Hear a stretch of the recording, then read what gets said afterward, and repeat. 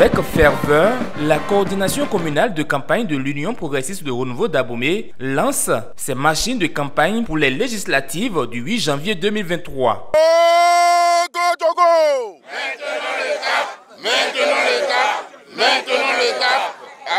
Confiant en votre sens de militantisme politique et de patriotisme, je déclare au nom de la coordination communale de campagne d'Abomey officiellement lancé la campagne électorale des élections législatives du 8 janvier 2023. C'est au pied de la statue du brave roi de Danjomé, Dada Béanzin, que les hostilités sont officiellement lancées sur la terre des Javi. Un moment crucial pour l'UP Le Renouveau de confirmer son hégémonie dans la cité historique. Les militants doivent travailler avec engagement et détermination sur le terrain pour mieux convaincre les populations, mais ceci avec un comportement de paix. Moment de prédilection pour l'Union progressiste Le Renouveau d'amener une fois encore les électeurs à soutenir massivement les candidats de notre liste. Je voudrais nous inviter tous à faire de ce moment un moment de fête électorale où nous allons nous déployer dans l'union, la paix, la convivialité afin d'assurer une razzia inédite. Militantes et militants, défendez les idéaux de notre parti sans écart de langage. Ne répondez pas aux intimidations, aux invectives ni aux provocations. Garantissez une victoire écrasante et éclatante à la liste Union progressiste Le Renouveau dans la fraternité, le respect et la courtoisie.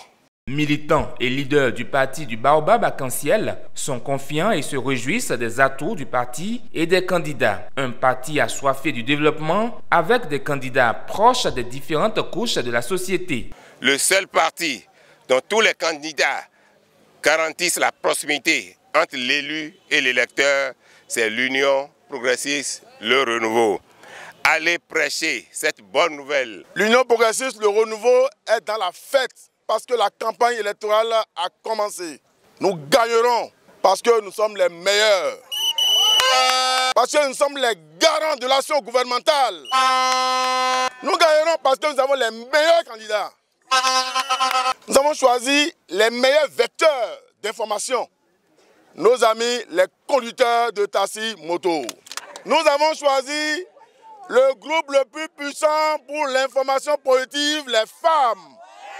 Nous avons choisi le fer de lance de l'action politique, les jeunes.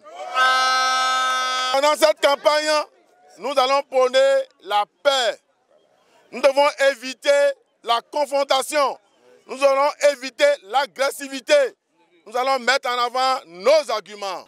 Nous avons un seul ennemi pendant cette campagne-là. Tous ceux qui travaillent pour remettre en cause les actions salutaires du président Talon. Tout cela seront combattus avec la manière, avec l'intelligence, avec la rigueur, avec la parole, avec le verbe. Je souhaite que tous nos hameaux, tous nos villages, nos quartiers, nos arrondissements soient inondés. La déferlante jaune. La déferlante jaune. La déferlante. La déferlante Période festive, candidats et jeunes sont prêts pour le job. Dès cet instant, l'engagement est pris pour la victoire de l'Union progressiste de renouveau au soir du 8 janvier 2023. L'intégration fonctionnelle, hein. ben, ma soble grève, chobonu akwaji akwaji nu ye ayo. Pasasi liso. Mina so gbenegbe a. Mina so gbenegbe a. Mina do fu mo mina bo zindo gba me a. La jeunesse aujourd'hui a lancé le tubo.